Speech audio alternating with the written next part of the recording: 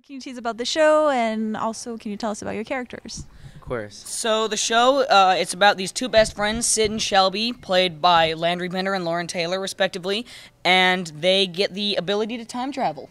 Go backwards and forwards in time. You know how it is. Unstuck. And uh, so in the show, I play Barry Eisenberg. I'm their next door neighbor. I'm a kind of young scientist, but I'm very kind of socially challenged. I'm like Einstein who can't talk to girls, which is my self chosen tagline for that. And. Uh, and then I've we work out of this cool retrofitted RV, and I've got my trusty lab assistant. Naldo. I play Naldo, who I forgot his last name Montoya. again. Montoya. It's Naldo Montoya, and I play Barry's earnest lab assistant slash best friend who helps him out with the experiments all the time. And basically, you know, we're always trying to figure out. In the second episode, actually, we figure out we're trying to recreate and see how how Landry and I'm, I'm, I'm trying to say their names in the show, but um, Landry, and Shelby. Sid and Shelby, There you go. Sid and Shelby slash Lauren and Landry, who happened to stumble upon time travel in the first episode. So the second episode is pretty fun when we try to figure out that. So that's mm. that's really fun too. Now, if I understand correctly, it's all Barry's fault.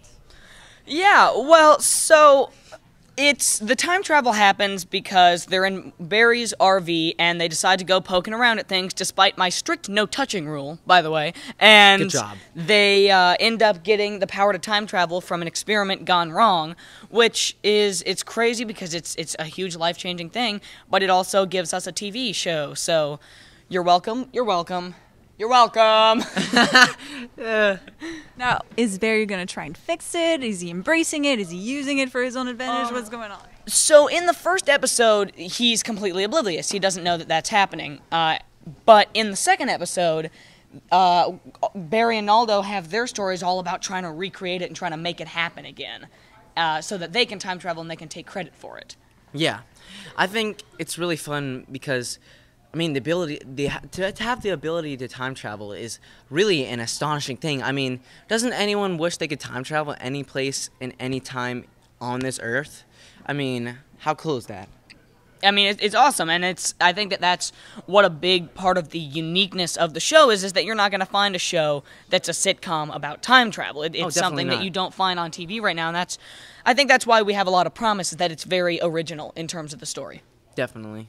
Since you're bringing it up, where would you like to time travel if you could? Haven't been asked this question before. Um, I would probably either go into the future and just kind of live the good life, or uh, back like a week and memorize some lottery numbers, or and live the good life, or I would memorize a lot of history books, go back about a hundred years or a thousand years, just be, gain a reputation as a future predictor, and um, live the good life. Is there a moment or scene that you're looking forward for people to see from the show? Definitely a scene in the second episode. Um, you find out that Naldo likes to keep pickles in his hat, so that's fun. Uh, I, I don't know, like that, it was actually really Why shoot. pickles? Because he's a random guy. Why not? Yeah, why not? Hey, pickles are life. Pickles are good, man. Pickles are really good. Hey, each time it was really fun to shoot because each time I would take the pickle off, and you know, in the scene I have to eat the pickle. Um, And then they would come and take it and put it in the they trash take it can. before they would actually you not use that pickle anymore. He would take a bite of the the other side. end. I would just grab the He'd be like, "Hey, be can like- I have it?" and And, like, and I "Okay, kept can telling him each time I would eat it, I'd be like, "Man, this pickle's so good." Like it I was, it was a good pickle. Good pickle. They were good pickles. Yeah, you're right. You know what pickles are good on is hamburgers. They're good on hamburgers. Chick Fil A. Pretty good. And my final question for you is: Do you have a message for your future fans? Uh, What about before no fans? future fan of the show. And slash future. Future fans of the show.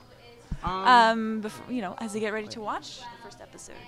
Um, I mean, definitely just prepare for something funny and uh, just, uh, you know, what we want more than anything is to give you a show that you love and give you a, a show that's going to be fun to watch. And I think that's absolutely what we're doing with it. And uh, so just have fun and just enjoy it.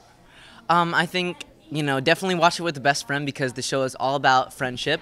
You know, it's Gus.